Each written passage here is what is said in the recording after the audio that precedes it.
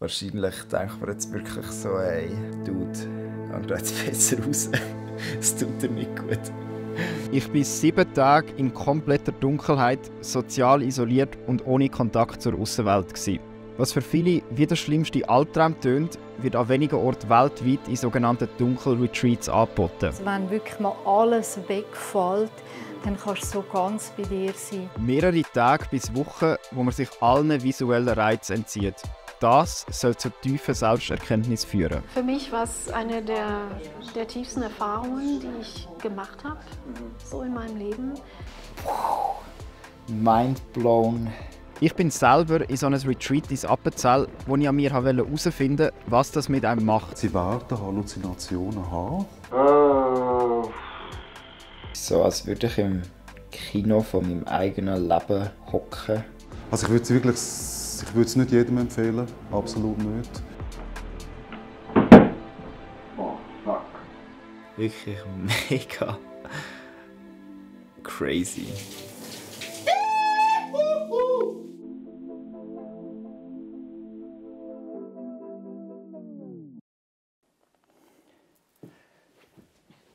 So, sieben Tage Dunkelretreat.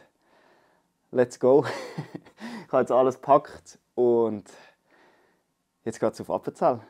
Vielleicht kennst du Schweigeretreats in einem Kloster, wo man meistens eine Woche lang sehr viel meditiert und auch nicht reden darf. Ein Dunkelretreat ist quasi das, einfach in einem komplett dunklen Raum und ohne andere Leute. Schon eine absurde Vorstellung, dass ich jetzt einfach in sieben Tagen kein Licht wieder sehe. Heisst auch, das Handy brauchen geht nicht, lesen auch nicht. Musik hören darf ich auch nicht. Es ginge darum, komplett frei von allen äußeren Einflüssen zu sein, damit ich meine Innenwelt besser sehe. Aus klinischer Sicht möchte ich aber wissen, ob das auch heikel kann sein und habe eine Woche vorher den Psychotherapeut Arnold Wittwer getroffen. Ich würde sagen, für, für einen psychisch äh, stabilen Menschen äh, sehe ich jetzt nicht unbedingt große Gefahren drin. Ähm, vor allem auf dem Hintergrund, dass man das abbrechen kann jederzeit. Sie haben doch nur ein höchstes Maß an Autonomie. Also das Essen kommt regelmäßig. Sie haben eine kleine Tagesstruktur im weitesten ja. Sinn. Gefahren, die können kommen, sind so, so... Unser Hirn sucht immer Input. Mhm. Wir leben in einer Zeit, wo wir fast ein bisschen zu viel Input haben. Mhm. Ähm, das Hirn fährt aber nach einer gewissen Zeit an, selber zu produzieren. Das heißt, sie werden Halluzinationen haben. Okay. also äh, akustische, optische. Und das kann Angst machen. Das kann aber auch euphorisieren. Das ist eine ganze Palette von, von Gefühlen. Vor dass ich mich anmelden konnte, hatte ich mit der Leiterin des Retreat ein Gespräch am Telefon. Sie hat mich dann als psychisch stabil eingestuft und mir ein Anmeldeformular geschickt.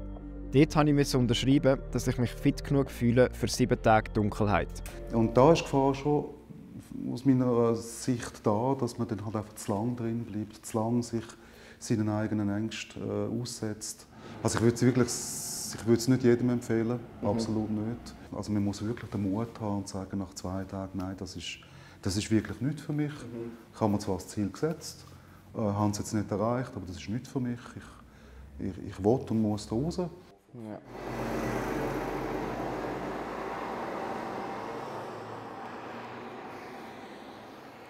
So, ich bin jetzt hier im hintersten Krachhaus im Appenzell. Ähm, das ist jetzt schon fast ein Darkness Retreat mit dem Nebel. Nach dieser halben Weltreise hier rauf treffe ich dann oberhalb von Heiden die Frau, die das Retreat wird leiten wird, Corinna Ehling. Hoi Corinna, Sally. Danke vielmals. Mit mir werden noch sieben andere Teilnehmende diese Woche verbringen. Alle bekommen ein einzelnes Zimmer, das komplett abgeklebt worden ist, damit absolut kein Licht reinkommt. Nach einer dunklen Retreat-Betreuerin-Ausbildung leitet Corinna seit zwei Jahren so Retreats zusammen mit ihrem Partner Freddy.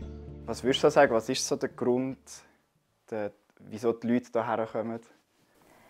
Ja, das ist ganz verschieden. Ähm Viele wollen einfach mal eine Auszeit, offline sein, kein Handy und ein Rückzug ins Dunkel ist auch sehr etwas Heilsames. Weißt, du hast wirklich keine Ablenkung, vor allem auch keine visuelle. Also wenn mhm. wirklich mal alles wegfällt, mhm. dann kannst du so ganz bei dir sein. Eigentlich habe ich gedacht, dass die Retreats alle recht neu sind, weil online habe ich nur knapp 60 Dunkel-Retreats gefunden, die weltweit angeboten werden. drei davon in der Schweiz. Während meiner Recherche finde ich dann aber heraus, dass der Rückzug ins Dunkle eine jahrtausendalte spirituelle Tradition bei den Mönchen von Tibet, in indigenen Völkern und bei den Kelten und Druiden ist. Das Retreat kostet 2100 Franken für insgesamt neun Übernachtungen. Für das Geld kann man auch einfach das Licht hier ausschalten, aber dann wird nicht dreimal pro Tag für dich gekocht und eine Betreuung hast du auch nicht. Mit den meisten Leuten, die ich jetzt so geredet habe, war immer die Antwort, wow, nein, das ist ja Horror, nein, das würde ich nie machen, nein, das könnte ich nicht. Was denkst du, wieso, wieso stößt das auf so viel Widerstand? Ja, einerseits, weil wir in einer sehr aktiven Gesellschaft sind. Wir sind überhaupt nicht gewöhnt, einmal innehalten. Äh, was machst du denn nur schon mal eine Stunde ohne das Handy, oder? Also das ist ja wirklich ein Riesenthema. Und ähm, dann andererseits auch, viele Leute haben einfach wirklich Angst vor der Dunkelheit. Okay, aber warum? Mhm.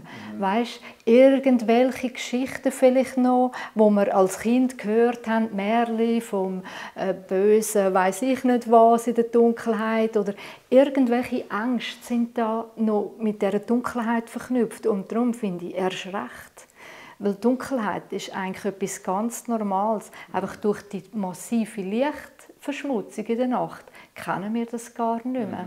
Am Abend bekommen wir die wichtigsten Informationen für unsere Woche, zum Beispiel, wie wir wissen, dass sie Essen vor unser Zimmer gestellt hat.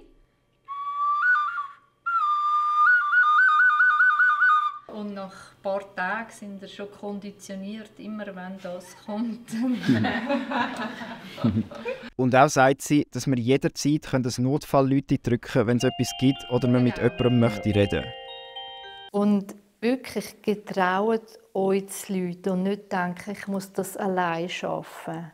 Damit die weiteren Teilnehmenden sich auf sich und die Woche können konzentrieren können, fühlen wir sie bewusst nicht. Zusammen essen wir dann zur Nacht. Ich gebe mein Handy ab meine Lichtschalter werden von Freddy und der Corinna abgeklebt und schließlich kommen wir nochmal in den Kreis zusammen, vor dass wir dann einzeln ins Zimmer gehen, um das Kerzchen auszublasen. Spezieller Moment.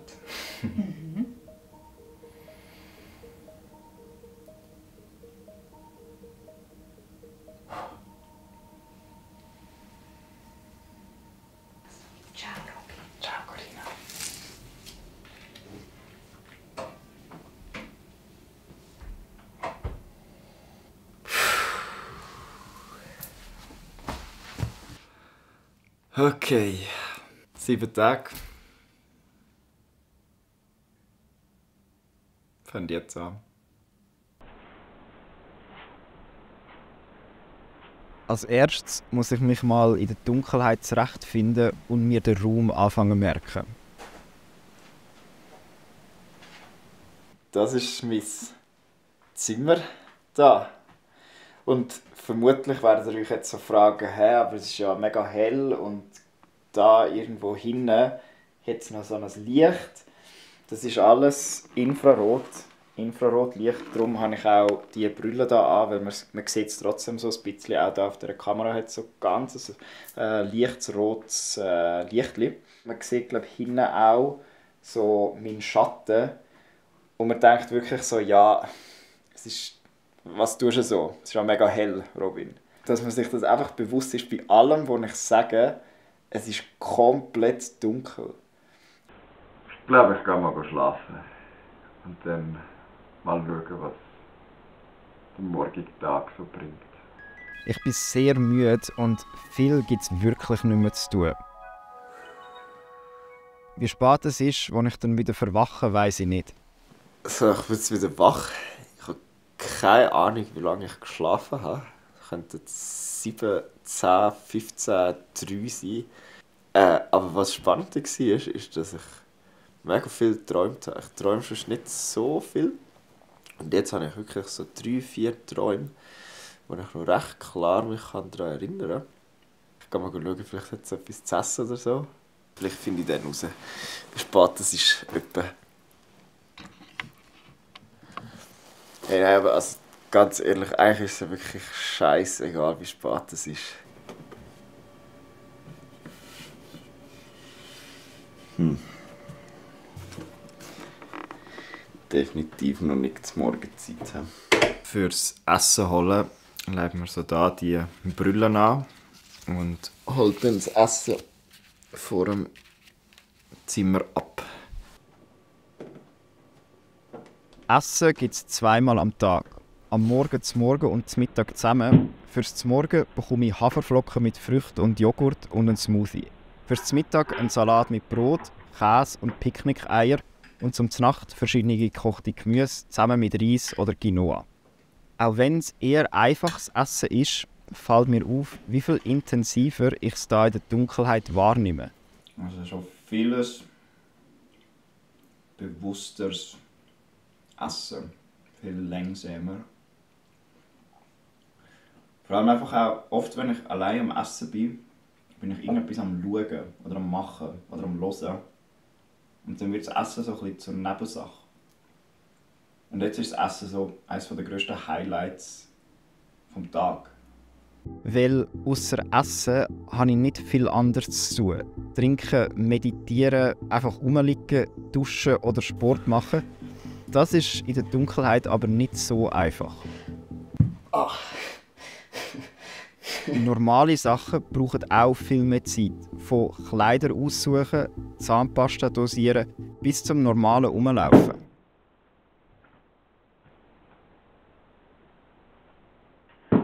Dauerstuhl.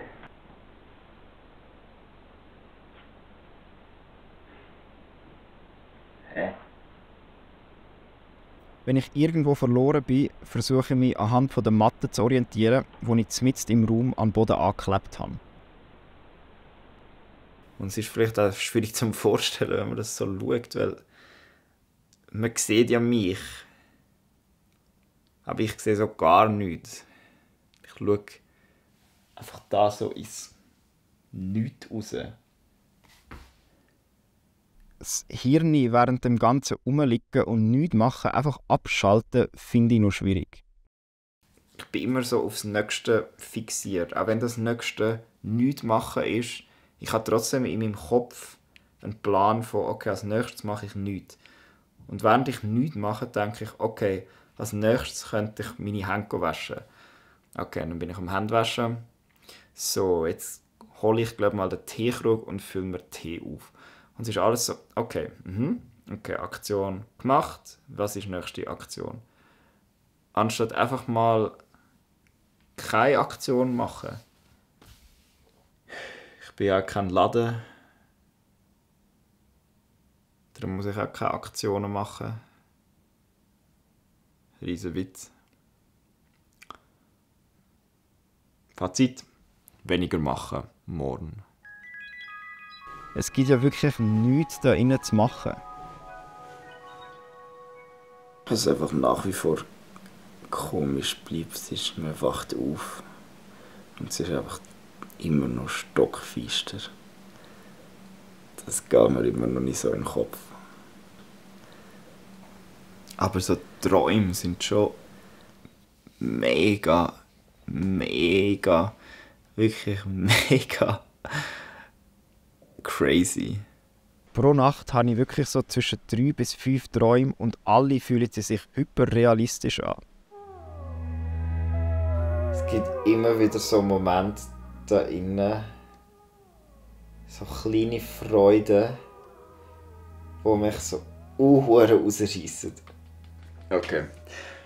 Ich würde sagen, das Highlight vom zweiten Tag. Ich habe jetzt da mein Mittag und wenn ich mich nicht täusche, da habe ich ein Picknick-Ei und dazu, was ich glaube, so einen kleinen Salzstreuer. Hure geil! Habt ihr schon mal so einen potenten Wasserdruck gesehen? Volle Pulle! Das Nichtmachen klingt mir heute einiges besser, weil beim Meditieren kann ich endlich meinen Kopf abschalten. Durch das fange ich aber plötzlich an, Sachen wahrnehmen. Das ist genau das, was der Psychotherapeut vorausgesagt hat. Ich habe jetzt wirklich so die ganze Zeit das Gefühl, dass ich hinten so an der Wand so ein Licht sehe.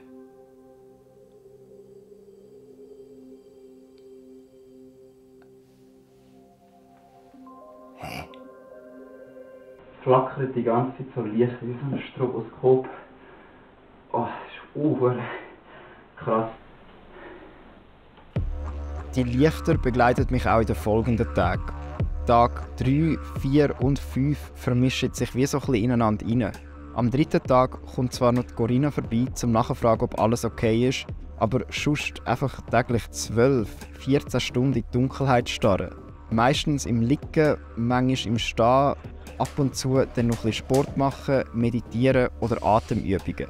Zusätzlich zu der Dunkelheit ist es einfach auch still. Und diese Stille wird allein durch das Ankündigen vom Essen unterbrochen.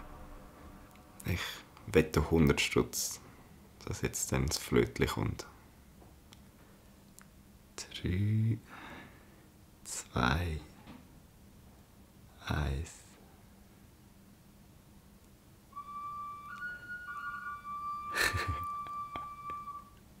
Ja, ich gut. Wenn das Flötchen so tönt, dann kommen alle so aus ihren Löchern gekrochen. Also alle Leute aus ihren Zimmern hören so, so langsam so rauskommen. Und dann so das Tupperware fassen. ich höre Corinna immer, wenn sie das Essen vor dem Zimmer abstellt. Anhand von diesen zwei Mahlzeiten weiß ich darum auch immer, ob es morgen oder Abend ist. Oft stehe ich auch einfach so ein im Zimmer rum und fühle mich dabei wie so eine Spielfigur im Sims, die auf einen Input wartet.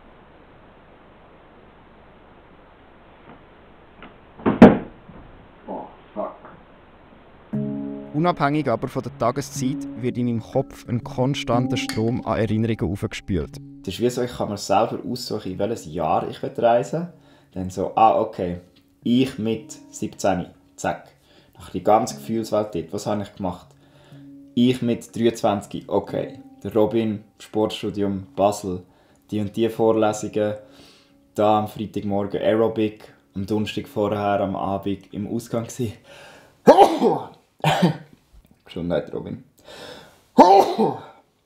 Moment, irgendwie, wo ich im Fußball war, Moment, wo ich Tennis gespielt habe, Match, wo ich hatte. Zack, zack, zack, zack, zack, zack. So die Klarheit von Erinnerung hatte ich noch nie. Gehabt.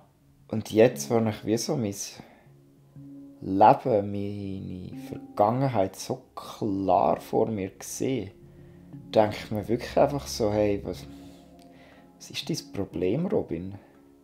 Du hast so viele schöne, gute, lustige Momente gehabt. Genau in dem Moment, wo ich in dem Moment, wo ich war, voll präsent war.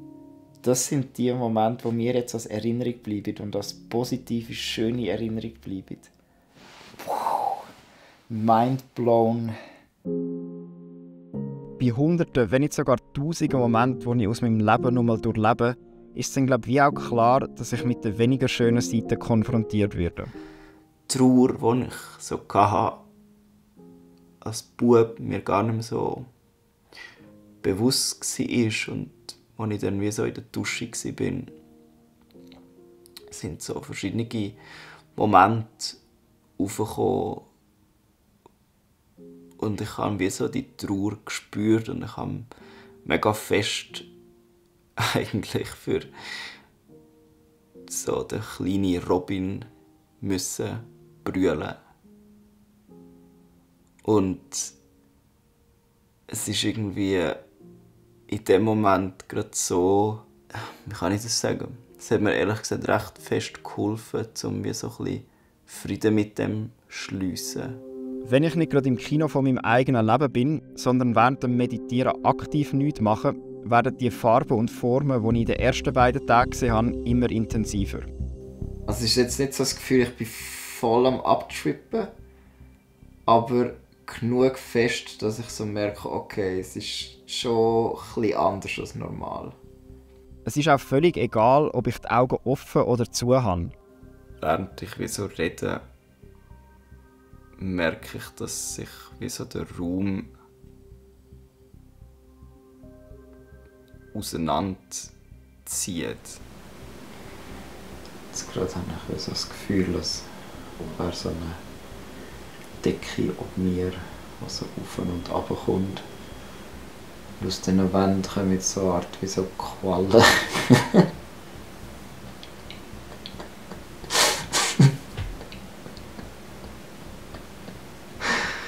Wahrscheinlich denkt man jetzt wirklich so, ey. Dude. Äh, geh jetzt besser raus. Es tut dir nicht gut. Ah. Am folgenden Tag erlebe ich dann aus erster Hand, wie mein Kopf mir versucht, einen Streich zu spielen. Ich bin mit einem schweren Gefühl auf der Brust schon aufgewacht und es ist wie so, als würde so Dunkelheit viel mehr Platz einnehmen und mich wie so abdrücken.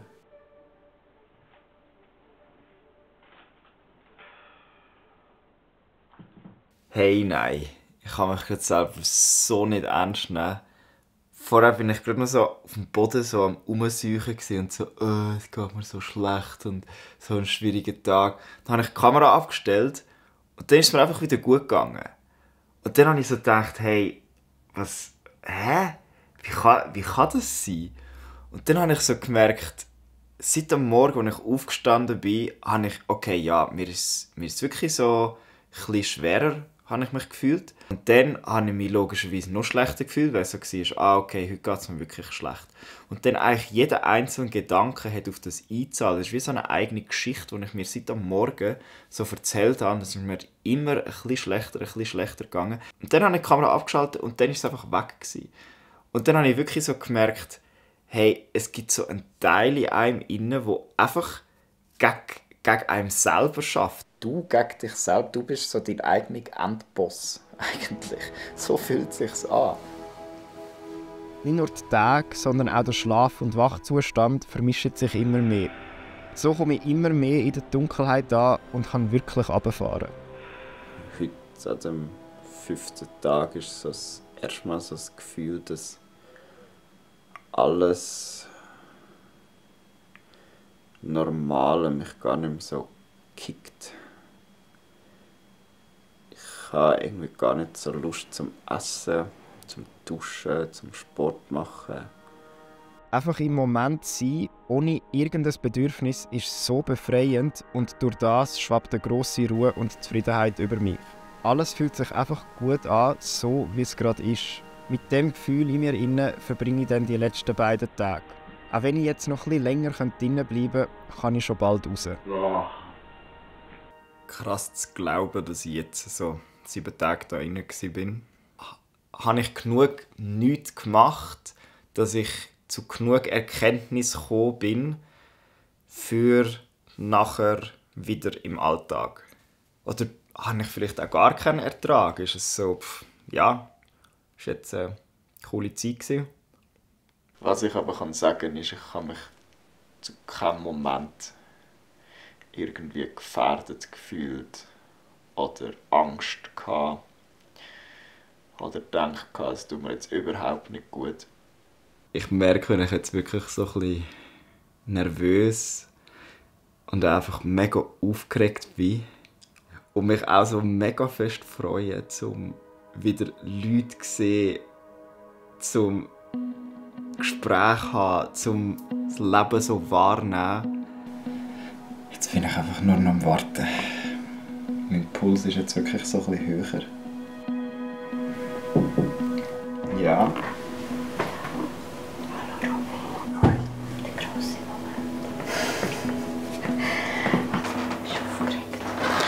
Ich bin wie so nervös und aber freudig irgendwie auch. Ansitzen. Mal einfach ankommen.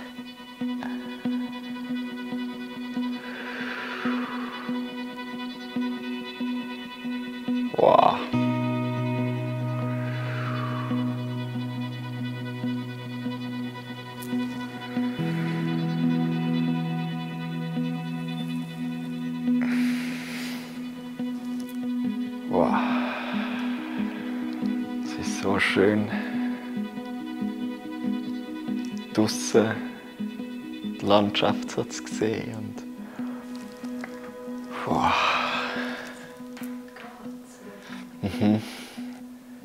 es ist voll Winter. ich bin wieder da und mit so viel Input wieder klar zu kommen, ist überwältigend. Nach mir kommen dann alle anderen wieder ans Licht. Am nächsten Tag gehen wir noch raus in die Natur, um die Woche in der Dunkelheit in Ruhe zu verarbeiten und beenden das Retreat mit einem Abschlussfeuer. Dort habe ich dann auch Zeit, mich mit den anderen Teilnehmenden über unsere Erfahrungen auszutauschen. Für alle sieben Leute ist es trotz schwierigen Momenten eine sehr positive Erfahrung. Eine der Teilnehmerinnen war sogar drei Wochen drin. Das ist schon das dritte Dunkelretreat, das Jasmin gemacht hat. Für mich war es eine der, der tiefsten Erfahrungen, die ich gemacht habe, so in meinem Leben. Im Moment fühle ich mich wirklich, als wäre ich wie, wie neu. Also das ist ganz, ganz interessant. Und es ist so subtil. Es ist wirklich so ein ganz zartes inneres Gefühl. Nach insgesamt neun Tagen hier oben ist es Zeit, mich zu verabschieden. Die fühle ich mich sehr ruhig und zufrieden, wie Jasmin das auch beschrieben hat. Gleichzeitig komme ich mir aber auch wie so ein frisch geschlüpftes Bibeli vor, wo überfordert ist mit dem Tempo der Welt. Was mich erstaunt, ist, wie empfindlich ich auch eine Woche später noch auf Tageslicht bin.